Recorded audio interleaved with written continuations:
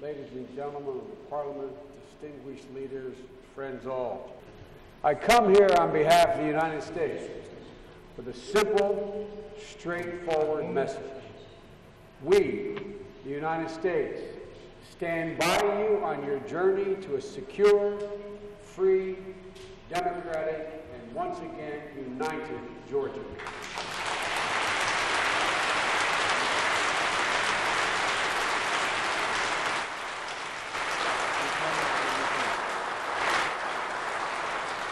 Ladies and gentlemen, I know that some are concerned, and I understand it, that our efforts to reset relations with Russia will come at the expense of Georgia.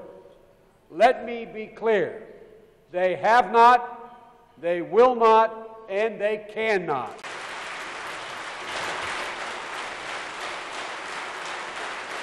We will not recognize Abkhazia and South Ossetia as independent states. And we urge, we urge the world not to recognize them as independent states.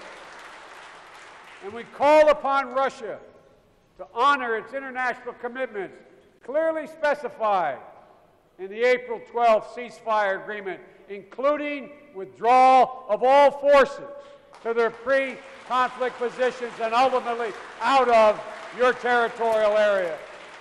We understand that Georgia aspires to join NATO. We fully support that, out, that aspiration. And members of parliament, we will work to continue to help you meet the standards of NATO membership. Thank